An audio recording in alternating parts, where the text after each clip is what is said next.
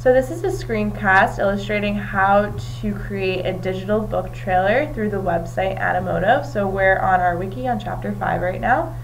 And we're going to click on Animoto link, which we see right over here. Now once we get to this page, it's a very easy website to use and very fun for your students. Um, we have two options here. We have sign up and log in. We already created an account. It's very easy to create. You just follow the directions, enter your email address, and um, we're going to log in now.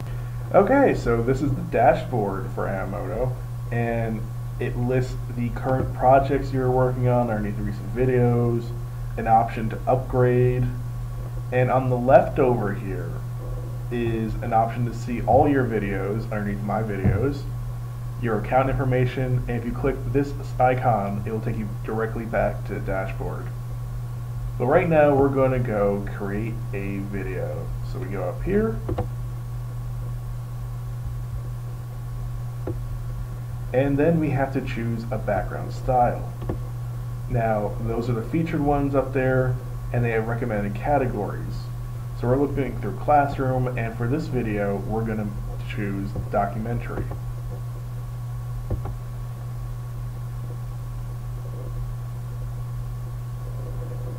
Now this is a good site because it will tell you up here exactly how long your video will be.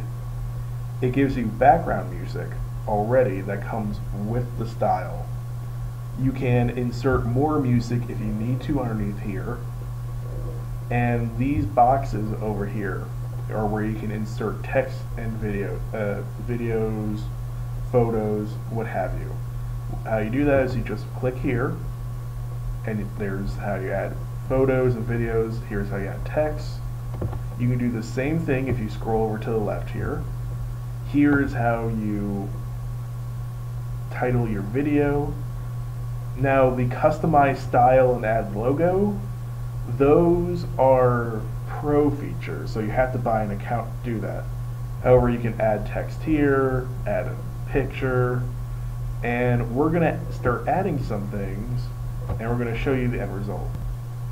So for this instance, we chose the book Harry Potter, and um, like Zach just showed you, we inserted these multiple photos through the upload option, and we added text here. So one of the cool things that you can do here is you can actually rearrange the order of things. So my two text boxes are at the end. However, one of them is going to go at the beginning. So I'm just going to click it and drag it over here and now it's all the way at the start. So we're going to set up the preview. It takes a few seconds to load, so we're going to spare you that. So after we press the preview video button, this is the screen that comes up. It takes a little while to upload, so just be a little bit patient. Um, this is a great uh, project to do with your students because it gives them um, the chance to be creative and get involved in the story and just generally do something kind of cool. so this is our final video. Yeah.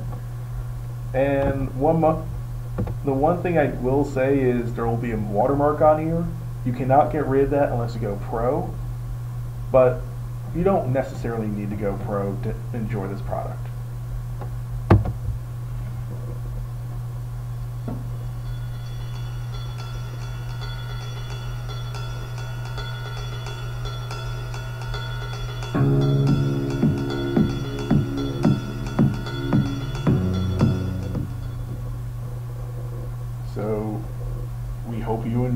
This instructional video and that you have a chance to use this cool product. In your classrooms. Thank you.